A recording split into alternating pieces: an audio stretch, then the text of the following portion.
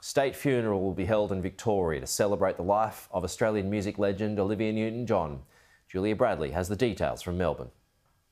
Victoria's Premier Daniel Andrews has confirmed the family of Australian music icon Olivia Newton John have accepted his offer of a state funeral. Discussions are now underway on how to best structure the ceremony. The Premier says the service will be more of a concert, allowing family, friends and fans to celebrate her life and music.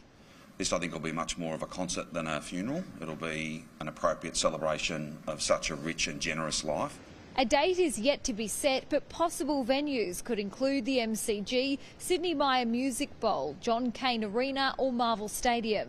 Back in the day, I was a DJ, and I can tell you the, uh, the, the, tunes that I played most regularly were, um, were, were, were ones from Olivia Newton-John and Grease. So that's my memory. Everyone has a memory. Uh, she was a great advocate for so many things. The Opera House was bathed pink on Wednesday night to recognise Olivia Newton-John's incredible legacy, including her contribution to cancer research and awareness. Other landmarks in Victoria have also been lit up pink.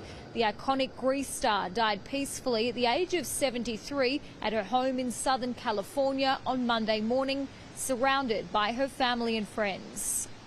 Since then, there have been many tributes, one of the most touching coming from her husband of 14 years, John Easterling, who took to her Instagram page to call her a healer and the most courageous woman he's ever known.